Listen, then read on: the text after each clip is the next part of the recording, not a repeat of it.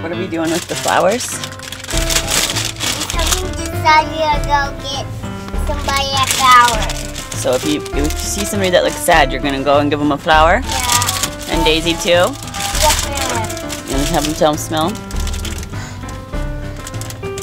Smell good. How do they smell? Like, Smell good? Alright, for somebody that looks like they just need a flower.